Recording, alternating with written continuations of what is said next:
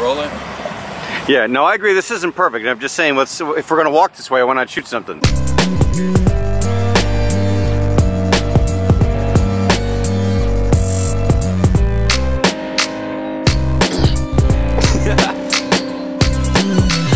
Let me explain. It was a chemical reaction. Chemistry popped off like a champagne. We had so much in common, dopamine flooding the brain. Started moving too fast like the express train.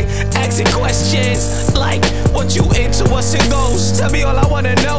Cause how I feeling making you wifey is the goal. But I gotta hit the brakes on my feelings for she know.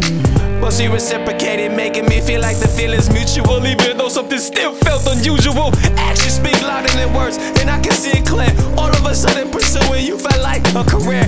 And now she testing me to see if my game fluent. But little does she know I'm a straight A student. But the more I studied her, no improvement. Now I'm going crazy like a teenage mutant. I know going to the club isn't the best place to find love, but I thought I would get lucky. Ha, so funny. Now my heart pretty girls on the outside, still ugly. But I learned my lesson, gotta take it slow. Mama told me never count your eggs for they hatch though. But that's what I did. Now I'm on the low, moving on to the next girl in Chicago. Yeah. What? Uh.